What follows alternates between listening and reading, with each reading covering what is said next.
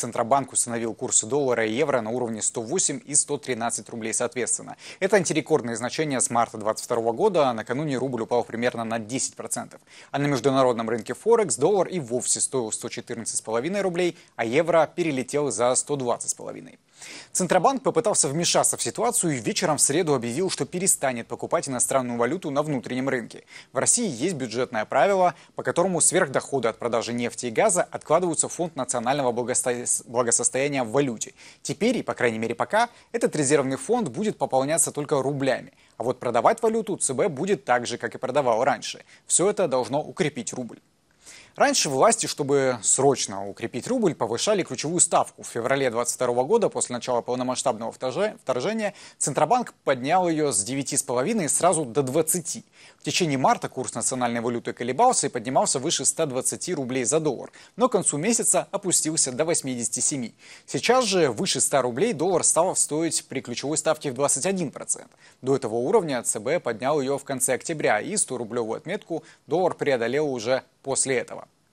Снижение курса рубля, в свою очередь, разгоняет инфляцию. В середине ноября инфляция в России только по официальным данным достигла почти 9% в годовом выражении. При этом первый зампред Российского государственного банка ВТБ Дмитрий Пьянов считает, что Центробанк недооценивает последствия снижения курса рубля для инфляции. По его словам, это может привести к куда большему росту цен. А вот как падение рубля ниже психологически важных отметок отметок вчера во время визита Владимира Путина в Казахстан, прокомментировал его секретарь Дмитрий Песков. Вы зарплату в какой валюте получаете? А у нас э, львиная доля всех взаиморасчетов с Казахстаном осуществляется в рублях и в тенге. Угу. Курс тенге тоже что вырос. Вызывает, что вызывает наше удовлетворение. Максим Блант, экономический обозреватель и публицист в нашем эфире. Максим, доброе утро. Доброе утро. Максим, что произошло с рублем? Ну, э, если цитировать Владимира Путина, она утонула. Да? Ну, вот как бы э, то, что происходит. Рубль упал э, ко всем валютам, включая китайский юань, и прежде всего китайский юань. И э, Дмитрий Песков, конечно, молодец.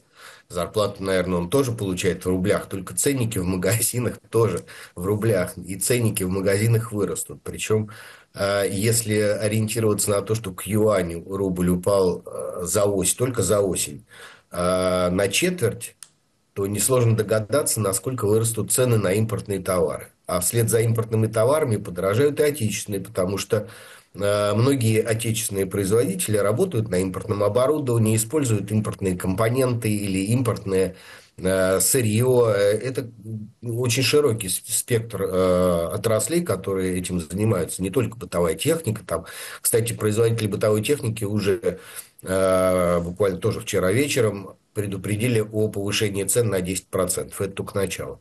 Вот. Но и пищевая промышленность, там все эти закваски для йогуртов и все, всякое такое прочее, тоже используют активно импортные компоненты. Поэтому к Новому году 9% э, официальной инфляции покажется э, ну, прекрасным несбывшимся сном. Вы как-то связываете падение рубля с увеличением расходов на войну и с войной вообще?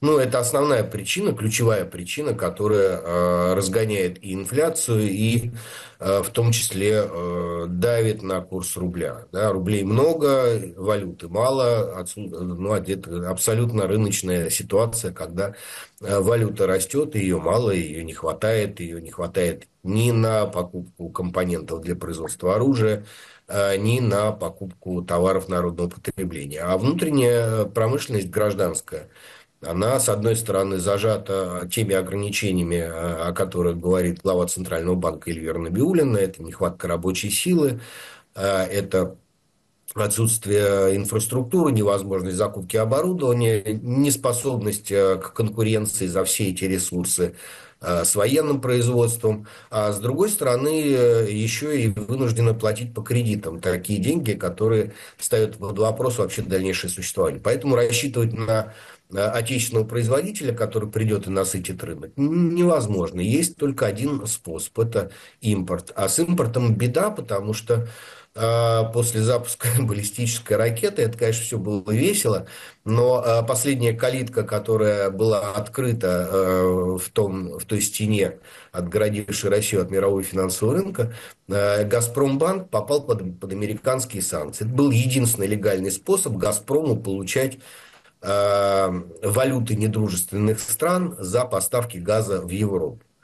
А дальше, собственно, принцип домино, да, поскольку европейцы теперь не смогут легально платить за российский газ, встает вопрос о продолжении транзита через Украину. Да, скорее всего, его не будет с 2025 года, с 31 декабря нынешнего года истекает долгосрочный контракт, он возобновлен не будет.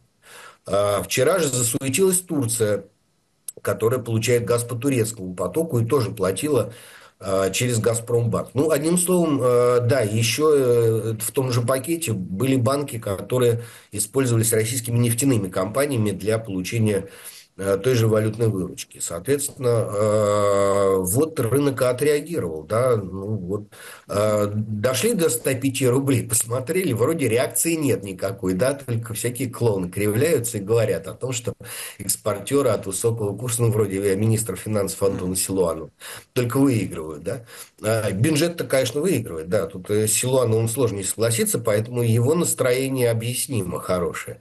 А, вот. Не случилось ничего страшного, ну давай дальше попробуем. А поскольку все эти фундаментальные факторы, они никуда не деваются и продолжают действовать, то э, совершенно непонятно, э, как, когда это все остановится, и, вот. потребует, и все это потребует вмешательства властей. Да? Вот сейчас Путин вернется из Казахстана, наконец. Э, вот давайте к, к Путину и Силуанову. Они оба когда-то говорили, что важен не курс рубля, а его предсказуемость. Вот на ваш взгляд, рубль предсказуем? Там все будет, э, он будет еще предсказуемо падать или, он, или нет? Ну, для меня сомнений в том, что рубль будет падать, не было с начала года. Да, когда э, правительство внесло в Думу тот бюджет, который внесло, э, последние сомнения – испарились. Да? Но я об этом говорил и в своих программах, и, и в комментариях. Э, поэтому, а дальше э, очень сложно э, властям реагировать, потому что все патроны, которые у них были да, для стабилизации рубля в наличии, они расстреляли еще в 23 году. Когда, помните, тогда как раз была обратная реакция. Была истерика, как же так, начались какие-то колонки непонятные в российских СМИ с обвинениями Центрального банка, а сейчас вот и, ставку уже так, на таком уровне, что повышать дальше бессмысленно. И э, для экспортеров э, им кровь пустили весьма существенно еще в прошлом году. Э, возвращать сейчас э, те ограничения, которые действовали, это ни, ни к чему не приведет, да, потому что э, они и так действуют в э, условиях, когда нужно искать нелегальные, ну, полулегальные схемы. Поэтому не, непонятно, да. Тут Мы только... вынуждены заканчивать. Максим, спасибо вам большое за вашу аналитику. Максим Блант, экономический обозреватель Радио Свобода и публицист. Спасибо еще раз.